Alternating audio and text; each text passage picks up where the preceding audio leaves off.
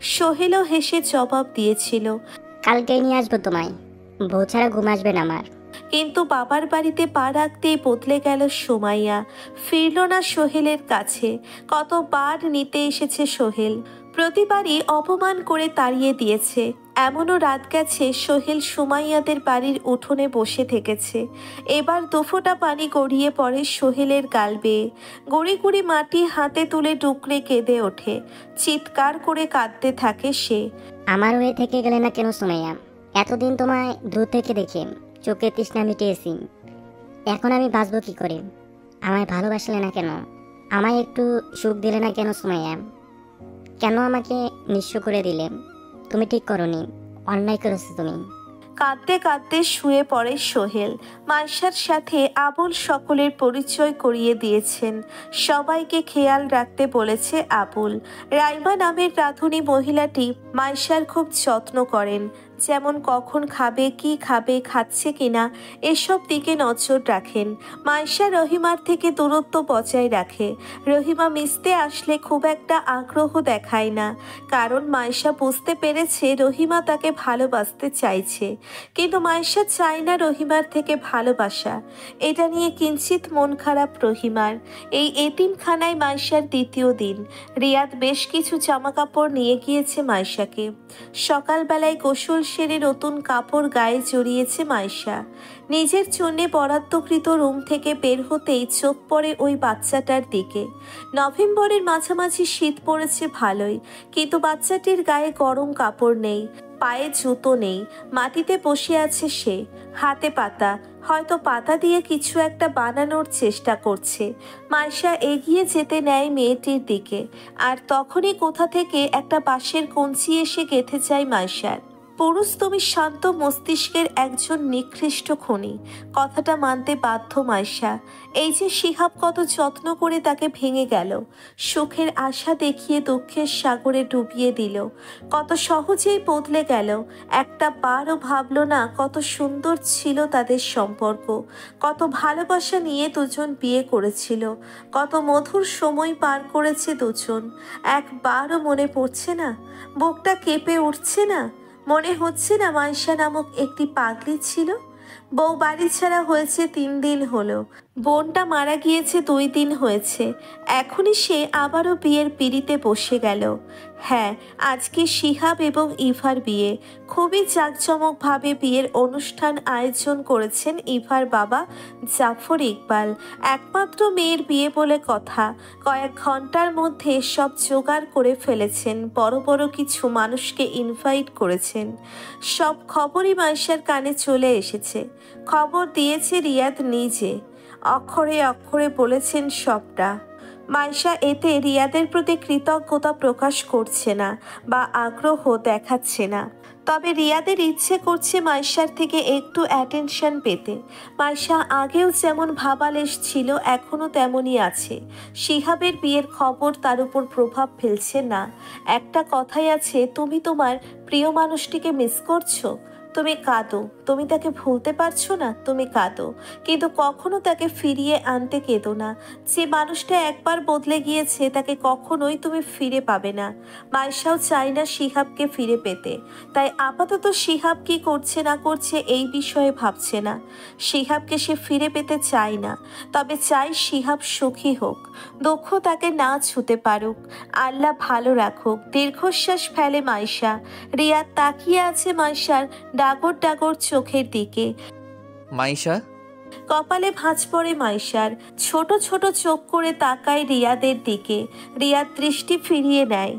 বুঝে যায় মাইশা রেগে যাচ্ছে। আপনি বড্ড সহজ সরল মাইশা। ঠোঁট মেলে একটু হাসে মাইশা। সহজ সরল? হুম মাইশা সত্যিই সহজ সরল। আমাকে কাজ দিয়েছেন, তার জন্য কৃতজ্ঞ থাকব। ঘন ঘন এখানে আসবেন না। গায়ে পড়া মানুষ পছন্দ না আমার। রিয়াদ অবাক হয়। সে কখন গায়ে পড়ল? তাছাড়া আগে আরও ঘন ঘন আসতো এখানে।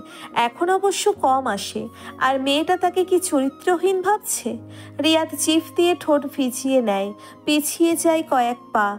মাইশা উদাসীন দৃষ্টিতে আকাশের দিকে তাকিয়ে বলে ওঠে, আপনি সেই ছেলে যে আমাকে পাঁচ বছর যাবৎ লুকিয়ে দেখে যাচ্ছেন। প্রপোজ করতে চেয়েছেন বহুবার, কিন্তু পরে যখন জানতে পেরেছে শিহাবকে ভালোবাসি আমি, তখন পিছিয়ে গিয়েছেন। আপনি এখন হয়তো মনে মনে আশা পুষে রাখছেন, আপনাকে একটা সুযোগ দিব। রিয়াদ অবাক হয়। মনের ভাষা বুঝে ফেলল মাইশা। কথাগুলো একান্তই রিয়াদের মনে চাপা ছিল। তাহলে মাইশা কি করে বুঝলো? মানুষের মন পড়তে পারেন। তাহলে ভুল মানুষকে কি করে বেছে নিয়েছিলেন? মাইশা তাকায় রিয়াদের দিকে। ছেলেটা সুদর্শন। তবে নজর কাড়ার মতো নয়। দাড়ি নেই। নিঃসন্দেহে একটা ছেলের সৌন্দর্য প্রকাশ পায় তার দাড়িতে। আমি মানুষ চিনতে ভুল করিনি। সঠিক মানুষটাকেই ভালোবেসেছিলাম। আমার ভাগ্য আমাকে এই পরিস্থিতিতে ফেলেছে। এখানে ভালোবাসার কোনো দোষ নেই। রিয়াদ জবাব দিতে পারে না। আপনি এখানে আসবেন না রিয়াদ। আমি কখনোই আপনাকে সুযোগ দিব না। জীবন একটাই। এক জীবনে হাজার জনকে ভালোবাসা চাই না। মাইশা বড় বড় পা ফেলে চলে যায় রান্নাঘরে। এখন তাকে রান্না করতে হবে। বাচ্চাদের রান্নার দায়িত্ব নিয়েছে মাইশা। অবশ্য তাকে এই কাজ করতে দিতে নারাজ রহিমা। কিন্তু মাইশা শুনবে না তার কথা। বাঁচতে হলে কাজ করতে হবে। অন্যের ঘাড়ে চেপে খাওয়ার মানুষ মাইশা নয়। রিয়াদ মাইশার চলে যাওয়ার দিকে তাকিয়ে থাকে। রিয়াদ কখনোই চায় না মাইশাকে বিয়ে করতে বা দায়িত্ব নিতে। রিয়াদ শুধু এইটুকুই চায় মাইশা ভালো থাকুক, শত্রু চিনতে পারুক স্ট্রং হোক এবং শত্রুর মোকাবেলা করুক। ব্যাস, এইটুকুই। সকালের ঘটনাও রিয়াদ চেনেছে। কেউ একজন ঢুকেছিল এতিমখানায়। তার উদ্দেশ্য ছিল মাইশাকে আক্রমণ করা, কিন্তু পারেনি। এটা নিয়েও সে চিন্তিত। রিয়াদ বুঝতে পারে না সামান্য একটা মেয়ে যার রিলেটিভস পর্যন্ত নেই। তাকে মারার জন্যে মানুষ কেন এত উতলা হয়ে উঠেছে? কি রহস্য আছে এই মাইশার মাঝে? যার জন্যে তার প্রাণ কেড়ে নেওয়ারও ষড়যন্ত্র চলছে। শিহাবের মনটা অস্থির হয়ে উঠেছে। বোনকে কপরে শুইয়ে রেখেছে চব্বিশ ঘন্টাও হলো না। এরই মধ্যে বিয়ে করতে হবে? বিয়েটা তাকে জোর করেই করানো হচ্ছে এক প্রকার। মায়ের কথা কখনোই ফেলতে পারে না শিহাব। বলা চলে মায়ের হুকুমের গোলাম সে। শেরওয়ানি গায়ে চাপিয়ে আয়নার সামনে দাঁড়ায় শিহাব। মনে পড়ে মাইশার মুখখানা, তাদের সন্তানের কথা। বুকের ব্যথা বাড়তে থাকে শিহাবের। মাইশা কোথায় আছে? এই দুনিয়ায় মাইশার যাওয়ার মতো কোনো জায়গা নেই। তাহলে কোথায় আছে? ঠিক আছে। বেঁচে আছে নাকি মরে গিয়েছে? বুকে হাত চেপে বসে পড়ে শিহাব। এত উতলা কেন লাগছে? এই তো এখনই ইভাকে বিয়ে করে নিবে এবং সমস্ত সম্পত্তির মালিক হয়ে যাবে। এখন তো শিহাবের হাসি খুশি থাকার কথা। সোহেল মনে মনে কঠিন প্রতিজ্ঞা করে ফেলেছে। সোমাইয়ার মৃত্যুর প্রতিশোধ নিবে সে। জীবনের প্রতি মায়া হারিয়েছে অনেক আগেই। আজ পেয়েছে সুমাইয়া সুইসাইড করেনি। তাকে খুন করা হয়েছে। সুমাইয়ার ডেড বডি দেখেই সোহেল বুঝেছিল। রাতে শিরিন বেগমকে বোরখা পরে বাড়ি থেকে বের হতে দেখে শিওর হয়েছে। জ্যৈষ্ঠ মাসের মধ্যভাগ। কখনো আকাশ ফকফকে পরিষ্কার, তো কখনো নিরাফ আসমানে কালো কালো মেঘের ভেলা। আজকের সারাদিন কাঠফাটা রোদ্দুর ছিল। মুহূর্তেই গাছপালা ঝলসে দিচ্ছিল। কড়া রোদের পিপাসা ক্লান্ত করেছে কত শত কর্মজীবী মানুষদের। কিন্তু এখন আসমানে কালো মেঘ ঘনিয়ে এসেছে। গরম গরম মেঘ ডাকছে। গাছের পাতা তীব্র গতিতে নড়ে জানান দিচ্ছে, তীব্র বাতাস বইছে। ধুলোবালি উড়ে এসে আসছে। মাইশা জানালা খুলে প্রকৃতির এই পরিবর্তন খেয়াল করছে। বারো মাসে প্রকৃতি ছয়বার বদল হয়। সেখানে একটা মানুষ কি করে সারা জীবন একই রকম রয়ে যাবে? প্রকৃতি তো শিক্ষা দেয় বদলে যাওয়ার। তাচ্ছিল্য হাসে মাইশা। মনে পড়ে পুরনো স্মৃতি। যেদিন শিহাবের হাত ধরে পালিয়েছিল সেই দিন এইরকম ঝড় ছিল। রাস্তায় তারা দুজন ছাড়া একটা কুকুরও ছিল না। তাদের থাকার মতো জায়গাও ছিল না। কোথায় যাবে বুঝতে পারছিল না। ভয়ে, কষ্টে, আতঙ্কে কান্না করে ফেলেছিল মাইশা। শিহাব খুব যত্নে মাইশার মাথাটা বুকে চেপে ধরে আশ্বাস দিয়েছিল। আমি আসি তুম। ভরসা রাখম পান থাকতে তোমার কিছু হতে দিব না। সেই শিহাব আজকে কতটা বদলে গেছে? প্রকৃতির মতো কি? হয়তো তাই। আজকে শিহাবের বিয়ে। এই ঝড় কি জানান দিচ্ছে মাইশা নামটা চিরতরে মুছে গিয়েছে শিহাব নামক মানুষটির জীবন থেকে? এই ঝড় কি জানান দিচ্ছে দুনিয়ার আলো না দেখা সত্তাটি কখনোই তার বাবার আদর পাবে না? মাইশা? হঠাৎ কারও কণ্ঠ শুনে খানিকটা চমকে ওঠে মাইশা। পেছন ঘুরে তাকায়। আমিনুল দাঁড়িয়ে আছে। তার হাত ধরে দাঁড়িয়ে আছে একটা মেয়ে। চেহারায় মিলে জানান দিচ্ছে, এই মেয়েটি আমিনুল ইসলামের রাজকন্যা। একটু হাসার চেষ্টা করে মাইশা। জানালা বন্ধ করে দিয়ে এগিয়ে আসে। মাইশা আপি বলতে বলতে আয়রা জড়িয়ে ধরে মাইশাকে। খানিকটা ভ্যাবাচাকা খেয়ে যায় মাইশা। সাধারণত এই মেয়েটির মাইশাকে চেনার কথা না।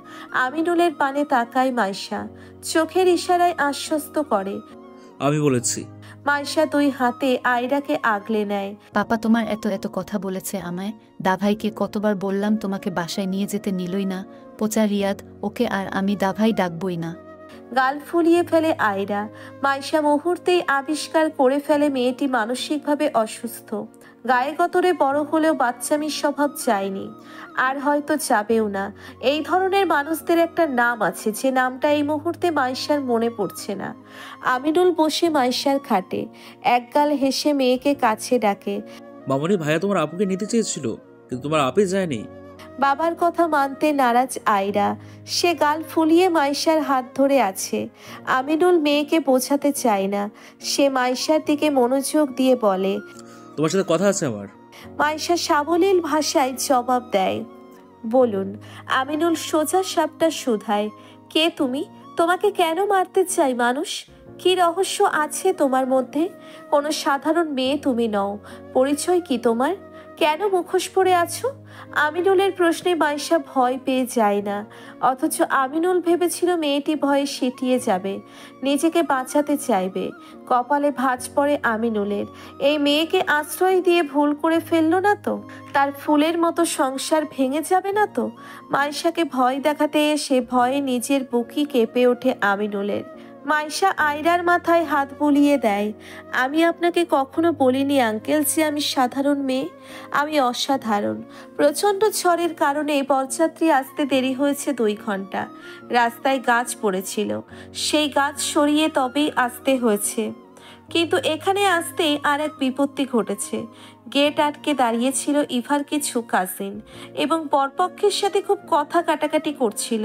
শিহাবের মেজাজ এতটাই বিগড়ে ছিল যে সে শরবতের গ্লাস উল্টে ফেলে দিয়ে চর বসিয়ে দিয়েছিল কনেপক্ষের একটা মেয়েকে। গোটা বিয়ে বাড়ি স্তব্ধ হয়ে যায়। বরের এহেন বিহেভিয়ার কেউ মানতে পারছে না। বউ সেজে বসে থাকা ইভাও আর নিজের রুমে বসে থাকতে পারে না। চলে আসে গেটের কাছে। শিহাবের চোখ মুখ দেখে শুকনো ঢোক গেলে। এখন কেউ কথা বললে শিহাব বিয়ে না করেই চলে যেতে পারে। জিভ দিয়ে ঠোঁট ভিজিয়ে ইভা বলে ওঠে ওনাদের আসতে দাও ঝামেলা করো না। কেউ কোনো কথা বলে না। গেট ছেড়ে সরে দাঁড়ায়। ইভা এগিয়ে গিয়ে শিহাবের পানে হাত বাড়িয়ে দেয়। এসো। শিহাব ইভার হাত না ধরেই হন হনিয়ে এগোতে থাকে। একটু কষ্ট পাই ইভা কিন্তু পাত্তা দেয় না। ঠোঁটের কোণে হাসি ফুটিয়ে শিহাবের পিছনে হাঁটতে থাকে। নতুন বউকে রেখে বর লাপাত্তা। শিহাবের কোনো খোঁজ নেই। কবুল বলেই চলে বেরিয়ে পড়েছে। কারও কোনো কথা শোনেনি। ইভা শিহাবের পিছনে দৌড়ে গেট অব্দি এসেছিল। তবুও ফিরে তাকায়নি শিহাব। পুরো বিয়ে বাড়িতে চলছে আলোচনা। কেউ কেউ শিহাবের দোষ দিচ্ছে তো কেউ কেউ ইভাকে দোষ দিচ্ছে। মানুষের আর অজানা নয় যে একজনের স্বামীকে নিজের স্বামী করার স্বপ্নে মরিয়া হয়ে উঠেছিল ইভা। মজিবুর ভাবালেমভাবে বসেছিল অনুষ্ঠান বাড়ির এক কোণে।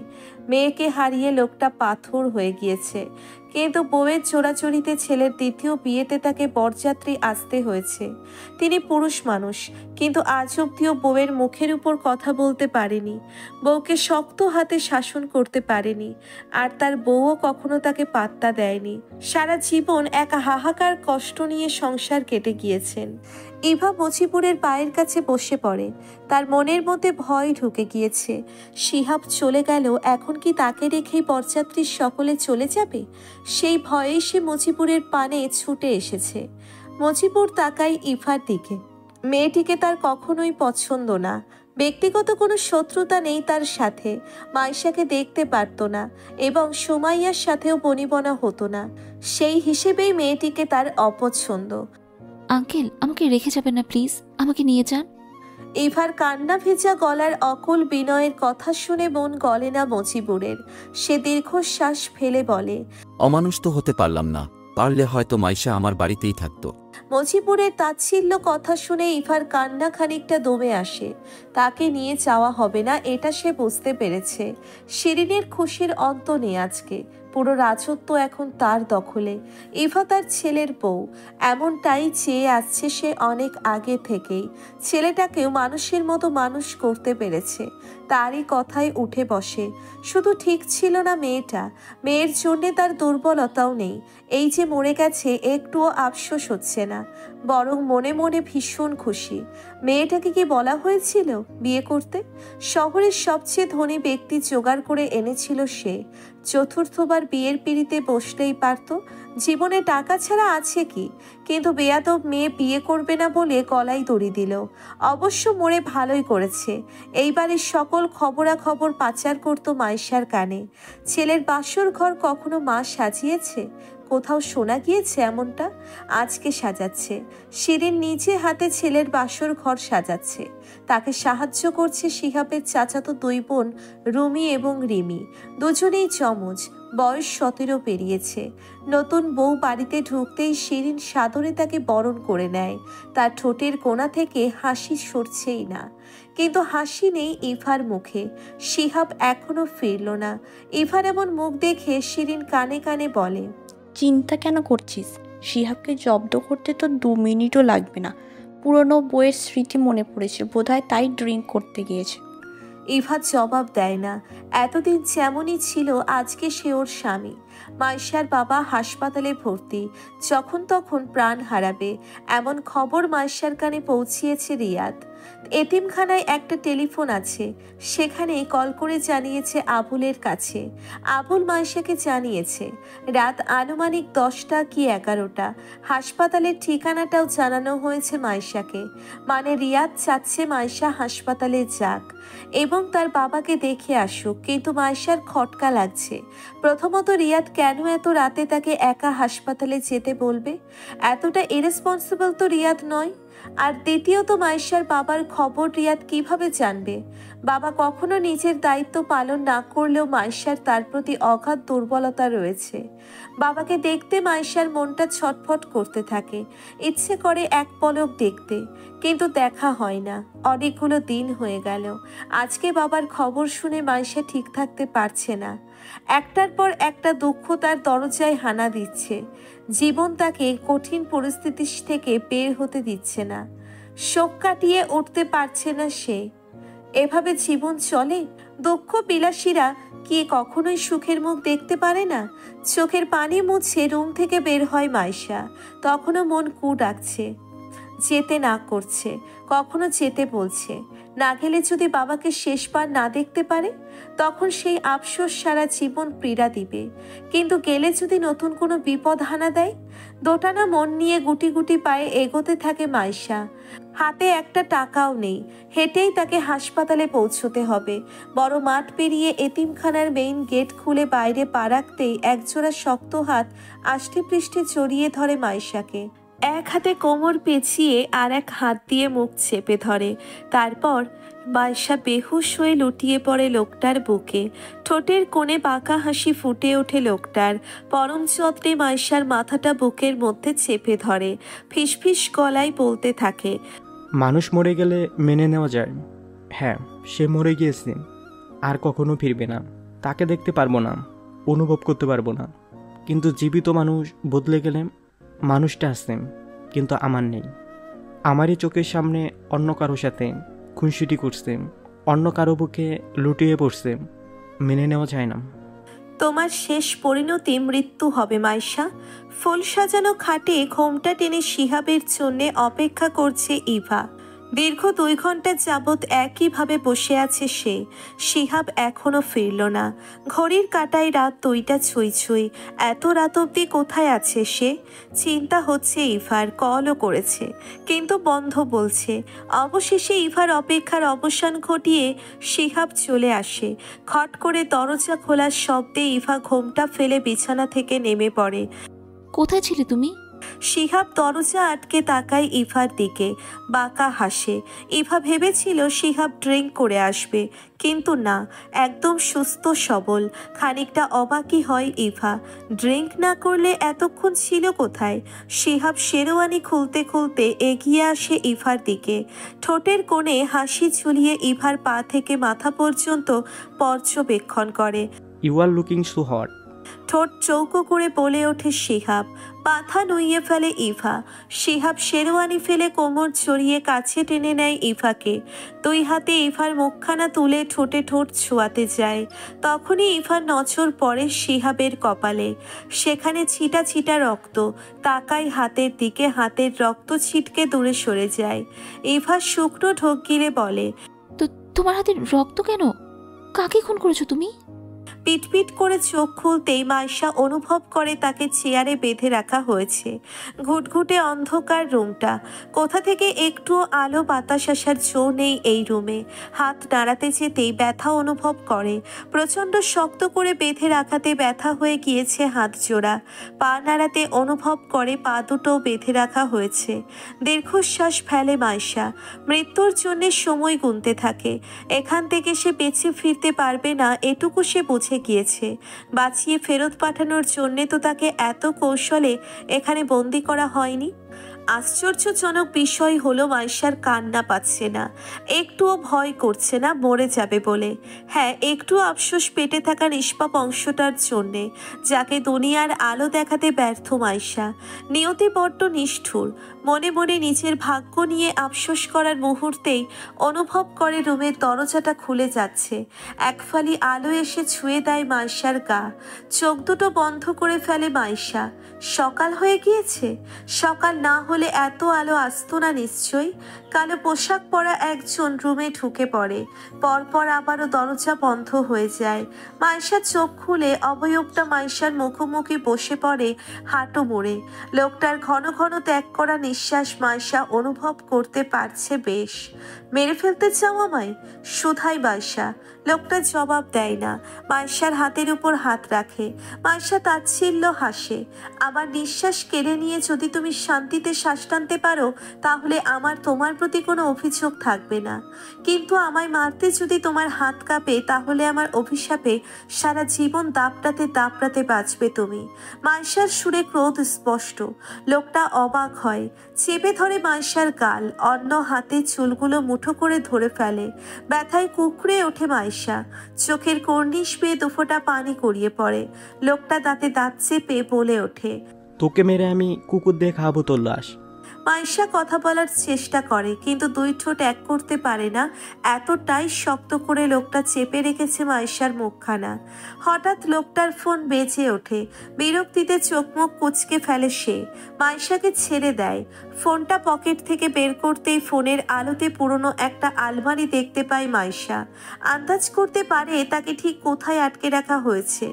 হাসি ফুটে ওঠে মাইশার ঠোঁটের কোনায় লোকটা ফোন রিসিভ করে কানে দিতেই মাইশা চেঁচিয়ে বলে ওঠে রিয়াদ আমাকে এতিমখানার পেছনের ভাঙা গোডাউনে আটকে রাখা হয়েছে। তুমি পুলিশ নিয়ে চলে এসো। লোকটা আন্দাজও করতে পারেনি মাইশা এমন একটা কাজ করবে। ভ্যাবাচাকা খেয়ে যায় সে। ফোনের ওপাশে রিয়াদ ছিল, এটা মাইশা জানলো কি করে? পরপর ফোনটা কেটে যায়। মাইশা হেসে ফেলে, মরবো আমি, তবে এখন নয়। তোমার গল্প শেষ করব তারপর। লোকটা খেপে যায়। ফোনটা পকেটে পুরে তেড়ে এসে গলা চিপে ধরে মাইশার। ভেবেছিল একটু রয়ে শুয়ে মারবে, কিন্তু এই মেয়ে ভারী ধরিবাজ একে বাঁচিয়ে রাখা মানেই নিজের বিপদ। দমবন্ধ হয়ে আসছে মাইশার। চোখ দুটো বড় বড় হয়ে গিয়েছে। হাত পা বাঁধা থাকাতে নিজেকে বাঁচানোর জন্য একটুও নড়াচড়া করতে পারছে না। মাইশা নামক অভাগীর গল্পটা বুঝি আজকেই শেষ হয়ে গেল। প্রতিশোধ নেওয়া হলো না। কিছু মানুষকে শাস্তি দেওয়া হলো না। নিরীহ মানুষই বুঝি সবসময় শাস্তি পায়। আর দোষীরা পার পেয়ে যায়। দুনিয়া নামক জেলখানা থেকে বুঝি মাইশা নামক অপরাধীর নামটা মুছে গেল। সুমাইয়ার দ্বিতীয় স্বামী ইয়াসিন নারী পাচারকারীর লিডার। শিরিন তার সাথে যুক্ত হয়েছে দশ বছর আগে। নিজের মেয়েকে প্রথম স্বামীর থেকে ছাড়িয়ে ইয়াসিনের সাথে বিয়ে দিয়েছিলেন শিরিন। কারণ ইয়াসিন বলেছিল শিরিনকে লিডার বানাবে এবং টাকার ভাগ বেশি দেবে। দুই দিনও সংসার করেনি সুমাইয়া। ইয়াসিনের কিছু তথ্য জোগাড় করে তার বাড়ি থেকে চলে এসেছিল এবং শিরিনকে বলেছিল তাকে ওই বাড়িতে যাওয়ার জন্য। জোর করলে সব মিথ্যা পুলিশকে বলে দিবে। ভয় পেয়ে মেয়েকে চোর করেনি শিরিন। সকালে ঘুম থেকে উঠে নিজের পাশে শিহাবকে পায়নি ইভা। শিহাবের জামা কাপড় এখনও পড়ে আছে ফ্লোরে। ইভার শাড়িটাও পড়ে আছে। শরীরে ব্যথা অনুভব করছে ইভা। অথচ এটা তাদের প্রথম মিলন নয়। গতকাল রাতে অন্যরকম এক শিহাবকে আবিষ্কার করেছে ইভা, যে শিহাবের যেন শুধু শরীরটাই প্রয়োজন। নরক যন্ত্রণা অনুভব করিয়েছে ইভাকে। এক রাতে মানুষ পাল্টে যায়? বিয়ের আগের দিন পর্যন্ত শিহাব তো অন্যরকম ছিল। হঠাৎ এতটা পরিবর্তন কেন হয়ে গেল? কান্না পাচ্ছে ইভার। এ কোন নরকে এসে পড়ল? তখনই শিরিনের গলা শুনতে পাই ইভা। উচ্চস্বরে ডাকতে এবং দরজা ধাক্কাচ্ছে। ইভা উঠে এসো ফ্রেশ হয়ে এসো কথা আছে। শুকনো ঢোকিলে ইভা চাদর পেঁচিয়ে বাথরুমে ঢোকে। নিজের ইচ্ছে এই নরকে এসেছে ও। শিরিন বিরক্ত হয়। ইভা কেন আসছে না? মনে মনে নতুন চক্কর সে ফেলেছে শিরিন। ইভার সাথেও সে গেম খেলতে নামতে চলেছে। দুয়ারে দুঃখ হানা দিলে প্রতিটা জীব মৃত্যু কামনা করে। অথচ তারা চিন্তা করে না মৃত্যুর ঠিক কতটা যন্ত্রণাদায়ক। মৃত্যুর দুয়ার হতে ফিরে আসা মানুষটি অনুভব করতে পারে মৃত্যুর যন্ত্রণা। যেমন আজকে মাইশা করছে। নিজেকে বাঁচানোর অনেকটা চেষ্টাই করে গিয়েছে সে। বাধা হাত পা ছটফট করতে গিয়ে রশি আরও শক্ত হয়ে গিয়েছে। বা পায়ের অনেকটা অংশ কেটেও গিয়েছে। জীবনে অনেক কষ্ট পেয়েছে মাইশা। চিৎকার করে কেঁদেছে অনেক। মনে হচ্ছে মৃত্যু যন্ত্রণা উপভোগ করছে। কিন্তু আজকে অনুভব করতে পারছে সেটা কোনো কষ্টই ছিল না। সেটা ছিল ক্ষণিকের মন খারাপ। যেই মুহূর্তে মাইশা মৃত্যুকে বরণ নিচ্ছিল, ভেজা আখি পল্লব বন্ধ করে নিঃশ্বাস বেরিয়ে যাওয়ার অপেক্ষা করছিল সেই মুহূর্তেই দমকা হাওয়ার মতো উপস্থিত হয় রিয়াদ। লোকটাকে মাইশার থেকে ছাড়িয়ে নিয়ে এলোপাথারি মারতে থাকে। ছাড়া পেতেই মাইশা হা করে ক্ষণ ক্ষণ শ্বাস টানতে থাকে। কাশি উঠে যায়। কাঁচতে কাঁচতে মুখে রক্ত চলে আসে। তাকিয়ে থাকা দায়ী হয়ে পড়েছে। নজর চোরা বন্ধ করার আগে ঠোঁট নাড়িয়ে রিয়াদকে বলতে চাচ্ছিল, ওকে মেরো না। কিন্তু গলা দিয়ে আওয়াজ বের হয় না। বেরিয়ে আসে রক্ত। অনেকটা চেষ্টা করেও রিয়াদকে মারতে না করতে পারে না মাইশা। নির্লজ্জ মাইশা, যে মানুষটা তার প্রাণ কেড়ে নিচ্ছিল, সেই মানুষটার আঘাতে তার ভিতরটা ফেটে যাচ্ছে। রিয়াদ থামে না। মারতেই থাকে। শক্তপোক্ত রিয়াদের সাথে পেরে ওঠে না শিহাব। একটা আঘাতও ফেরত দিতে পারে না রিয়াদকে। মারতে মারতে ক্লান্ত হয়ে থামে রিয়াদ। হাঁটু ভাঁজ করে দাঁড়িয়ে হাঁপাতে থাকে। ফ্লোরে নিস্তেজ হয়ে পড়ে আছে শিহাব। রিয়াদ পিছনে ফেরে। বুকের ভিতরটা কেঁপে ওঠে তার। শিরিন বেগম তিরিশ জন মেয়ের কন্ট্যাক্ট নিয়েছে, কিন্তু উনতিরিশ জন মেয়ে জোগাড় করতে পেরেছে। শিরিনের পরিকল্পনা ওই একটা মেয়ের জায়গায় ইভাকে দিয়ে দেবে। দেখতে বেশ সুন্দরী ইভা, তারাও পছন্দ করে নিবে। ইভা নিজেকে গুটিয়ে মাথায় ঘোমটা টেনে রুম থেকে বের হয়। ড্রয়িং রুমে মুচিবর বসে খবরের কাগজে নজর বোলাচ্ছে। মানুষটার চোখের কোনায় পানি চিকচিক করছে। আশ্চর্যজনকভাবে ইভার ভীষণ খারাপ লাগছে। ছোটবেলা থেকেই ইভা তার খালামণির স্বভাবের সাথে পরিচিত। সে জানে সবটা। সবসময় খালামণিকে উৎসাহ দিয়ে এসেছে। এক মুহূর্তের জন্যেও মনে হয়নি তার খালামণি ভুল করছে। এমনকি সুমাইয়াকে তৃতীয় বিয়ে দিয়েছিল ইভা চক্রান্ত করে।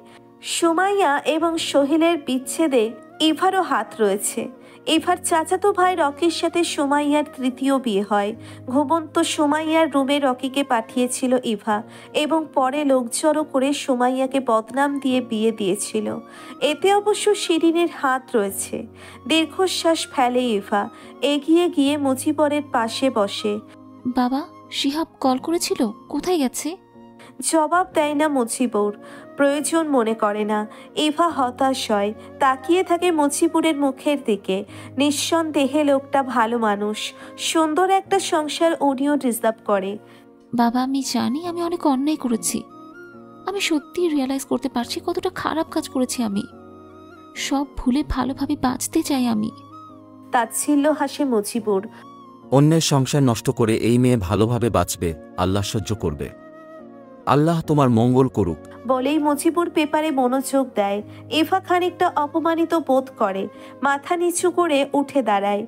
পিটপিট করে চোখ খুলতেই মাইশা নিজেকে হাসপাতালের বেডে আবিষ্কার করে। যাক, তাহলে বেঁচে গিয়েছে? দীর্ঘশ্বাস ফেলে মাথা ঘোরাতেই কপালে ভাঁজ পড়ে মাইশার কারণ রিয়াদ তার হাত ধরে ঘুমিয়ে আছে। দুইবার হাত ছাড়ানোর চেষ্টা করে মাইশা, কিন্তু পারে না। শক্তি দিয়ে হাত ছাড়িয়ে দিতে মন সায় দিচ্ছে না। লোকটা ঘুমাক একটু। মুখখানা দেখেই আন্দাজ করা যাচ্ছে ভীষণ ক্লান্ত সে। মনে মনে মাইশা সিদ্ধান্ত নিয়ে ফেলে, অনেকটা দূরে চলে যেতে হবে। এই শহরে আর না, এই শহরের স্বার্থপর মানুষগুলো তাকে বাঁচতে দিবে না। কিন্তু মাইশাকে বাঁচতে হবে। নিজের জন্যে না হোক যে আসছে, তার জন্যে হলেও তাকে বাঁচতে হবে। বাঁচতে হলে মায়া কমাতে হবে। মায়া খুব বাজে একটা রোগ, যা একটা জীবিত মানুষকে মৃত্যুর দিকে ঠেলে দেয়। এইসব ভাবনার মাঝে রিয়াদ জেগে ওঠে। মাইশার হাত ছেড়ে দেয়। যেন সে না জেনে ভুল করে ফেলেছে। হাঁসফাঁস করতে থাকে। মাইশা গভীর দৃষ্টিতে দেখে রিয়াদকে। ভেরি ভেরি সরি নেক্সট আর কখনোই এমন হবে না। ট্রাস্ট মি আমি ইচ্ছে করে না মানে কখন কীভাবে ঘুমিয়ে পড়েছিলাম, ঘুমের ঘোরেই বোধ হয় ক্ষমা করে দিও। মাথা নিচু করে বলে, রিয়াদ মাইশা জবাব দেয় না। চুপচাপ রিয়াদের মুখের দিকে তাকিয়ে থাকে। মাইশার থেকে জবাব না পেয়ে রিয়াদ ঠিক আন্দাজ করতে পারে না মাইশা রেগে আছে কিনা। তবে মাইশার সাথে কথা বলা জরুরি, তাই অনেকটা অস্বস্তি নিয়েও মনের কথা বলার জন্য প্রস্তুতি নেয়। জীবনে এই প্রথমবার নার্ভাস হচ্ছে রিয়াদ। হাত পা বোধ হয় মৃদু কাঁপছে। জিভ দিয়ে ঠোঁট ভিজিয়ে বলতে শুরু করে, মাইশা, শুনো পৃথিবীতে বেঁচে থাকা সহজ বিষয় নয়। আর তুমি এখন একা নও। তোমার মধ্যে আরও একটা প্রাণ বেড়ে উঠছে।